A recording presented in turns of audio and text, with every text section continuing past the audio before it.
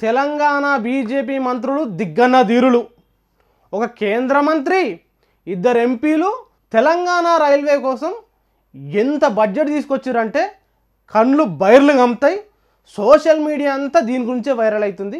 పూర్తి వివరాలు మాట్లాడుకుందాం పరి తెలంగాణ బీజేపీకి అధ్యక్షులు స్వయానా ఎంపీ బండి సంజయ్ బీజేపీ కేంద్ర మంత్రి కిషన్ రెడ్డి మరో బీజేపీ ఎంపీ ధర్మపురి అరవింద్. ఇక వీళ్ళు పొద్దున లేస్తే పొడుగు పొడుగు మాటలు భలే మాట్లాడతారు.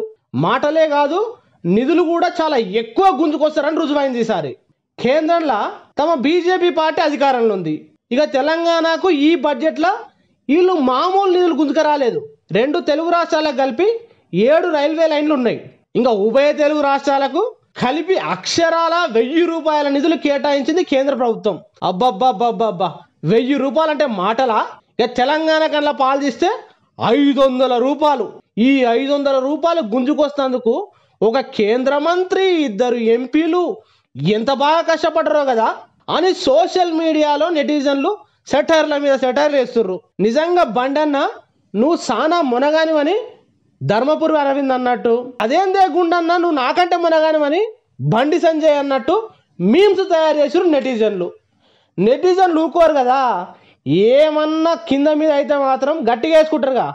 గది మాత్రం సోషల్ మీడియాలో దుమ్ము దుమారం రేగుతుంది. ఏమయ్యా ఎంపీలు? మీ వల్ల మా తెలంగాణకి ఏకైనా ఉపయోగం ఉందా?